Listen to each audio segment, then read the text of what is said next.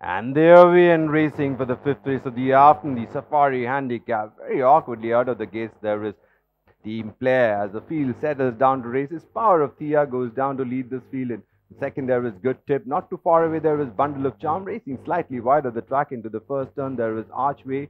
Then we go back to towards the inside. There is Super Stella. On the outside of Super Stella, making a forward move. There is East Side. Last of seven, there is Power of Thea. They pass the 800 and approach the six now.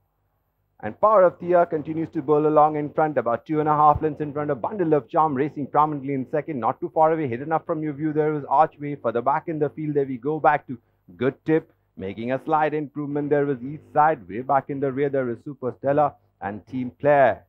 They're into the home space now, and we have a runaway leader in Power of Thea, who's about 4-5 clear. In chase, there is Bundle of Charm, the one who's being put into top gear towards the inside. There is Good Tip. Then we got Archway, who's coming up with a run down the center. And 200 meters to go with still power of Thea, about length and a half, two lengths in for a good tip is throwing down a big challenge down the center. But it's power of Thea from good tip, and east side is the one who's flying on the outside. But it's still power of Thea from good tip, power of Thea, good tip, power of Thea, power of Thea may have just prevailed from good tip in second.